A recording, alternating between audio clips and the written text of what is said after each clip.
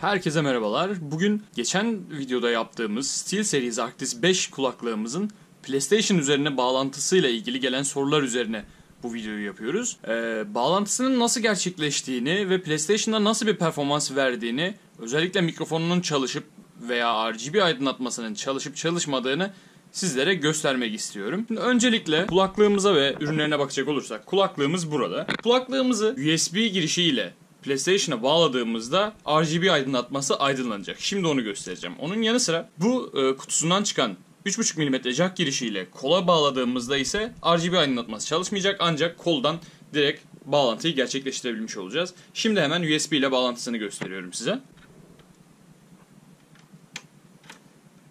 USB ile bağlantısı böyle gerçekleştiğinde görüyorsunuz ki RGB aydınlatması şu an çalışıyor. Bilgisayara bağlı değil. Yandaki klavye sizi yanıltmasın. PlayStation'a bağlı bir şekilde burada gördüğünüz gibi yazıyor ki mikrofon USB kulaklığına geçiş yaptı yazıyor. Bu PlayStation sistemi üzerinde. Şimdi ise aynı şekilde USB'den çıkarıp 3.5 mm girişiyle takacağım kola ve RGB aydınlatmanın yanmadığını göreceksiniz. 3.5 mm kısmını bağlamak için bu Chat Mix butonundan, Chat Mix kısmından USB bağlantısını ayırıyorsunuz. Bu geri kalan kablo kulaklıktan çıkan kablo oluyor. Bu kabloyu kutudan çıkan 3.5 mm jack girişine takıp sonrasında da 3.5 mm jack girişini kola bağlıyorsunuz. Kola bağlantısını gerçekleştirdiğimizde yine mikrofon kontrol cihazına bağlı kulaklığa geçiş yaptığı uyarısı PlayStation ekranında geliyor ancak gördüğünüz üzere e, kulaklık üzerinde herhangi bir RGB aydınlatma e, gözükmüyor, çalışmıyor bu şekilde bağlı, bağlantı yapıldığında. Şimdi ben size PlayStation sistemi üzerinde e, USB ile bağlantısını yapıp o güzel, o renkli, tatlı renkli RGB aydınlatmanın rengini aldıktan sonra oyun içinde mikrofonu nasıl kullanabileceğinizi ve mikrofonun ses performansını göstereceğim. Ondan önce ses ayarlarında yapmamız gereken değişiklikleri şimdi size göstereceğim. Şimdi kulaklığımızı tekrar USB aracılığıyla bağlantısını sağladık. Gördüğünüz üzere ışığı yanıyor. Gayet faal bir şekilde şu an. Evet şimdi ayarlara geliyoruz. Buradan cihazlar kısmına geliyoruz. Burada cihazlar kısmında Bluetooth e, pardon ses cihazları kısmında giriş cihazında gördüğünüz gibi SteelSeries Arctis 5 yazıyor. Çıkış cihazında da Arctis 5 yazıyor aynı şekilde. Buradan mikrofon düzeyini ayarlayabiliyorsunuz. Gördüğünüz üzere şu an mikrofon masanın üstünde olmasına rağmen burada olmasına rağmen benim sesimi gayet buradan bile alıyor ki mikrofon düzeyimiz de orta seviyede. Bunun yanı sıra buradan ses ayarlarını yaptıktan sonra Bluetooth bağlı değil kulaklığımız biliyorsunuz zaten burada sadece kolu gösteriyor. Buradan çıkışımızı yapabiliriz. Ses cihazlarındaki ayarlar bu şekilde olmalı. Buradan çıkış yaptıktan sonra oyun içinde ses var mı, sesimiz mikrofondan nasıl gidiyor diye kaydetmek için öncelikle bir grup içerisine giriyoruz. Ki siz de zaten arkadaşlarınızla konuşurken bu grup içerisinde oluyorsunuz.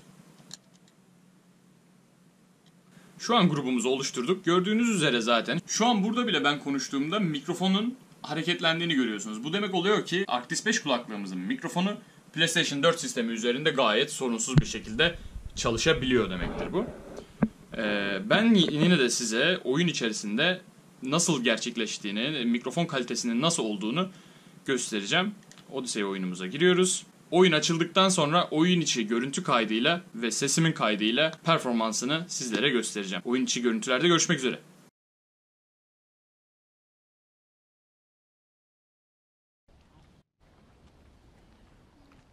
Evet şu an oyun içi görüntülere geçmiş bulunmaktayız. Bildiğiniz üzere Assassin's Creed Odyssey oyunundayım şu an. Grup içerisinde şu an arkadaşlarımla sohbet ediyormuş gibi bir durumdayım. PlayStation Party özelliklerinden sohbet ediyorum biliyorsunuz. Şu an gayet sesimi alıyor. Grup üzerinden görebiliyorum ben bunu. SteelSeries Arctis 5 kulaklığın PlayStation üzerindeki performansı da bu şekilde. Şu an USB ile bağlantısını gerçekleştirdiğim için kafamda RGB aydınlatması da çalışıyor. Videonun ön kısımlarında gösterdiğim üzere.